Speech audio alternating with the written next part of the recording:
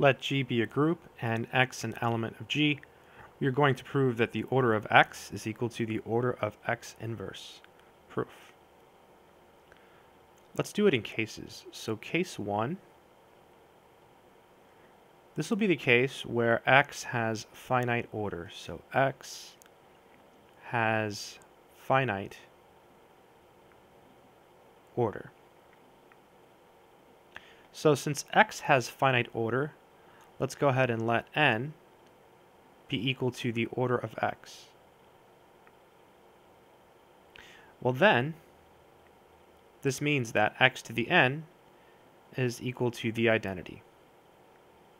The natural thing to do now is look at x inverse to the nth power. So then, x inverse to the nth power, we can write this as x to the negative n, and this can be written as x to the n to the negative 1. x to the n is e, so this is e to the negative 1, and this is equal to e. So we started with x being an element of finite order, and we showed that x inverse to the n is equal to e. So we showed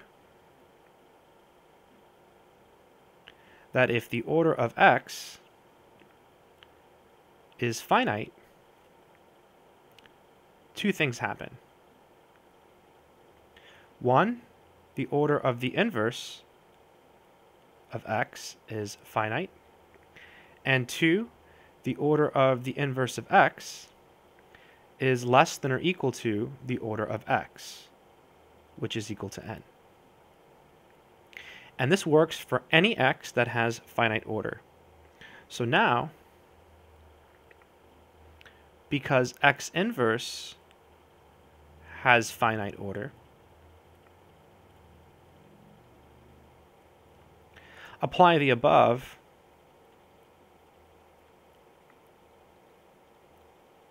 to x inverse.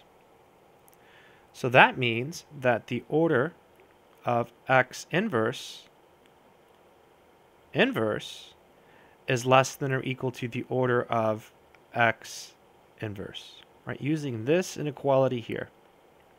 But this is just the order of x less than or equal to the order of x inverse. So now we have both inequalities and so this shows that the order of x is equal to the order of x inverse. So that takes care of the case where x has finite order. It's a really careful proof. Case 2, x has infinite order.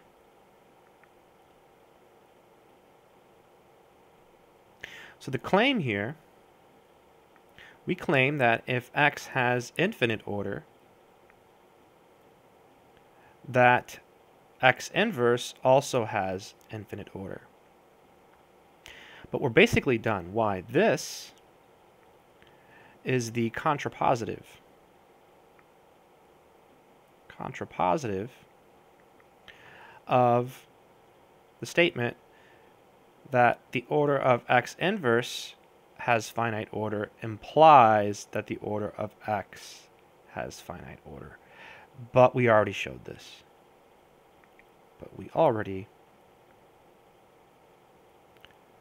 showed this.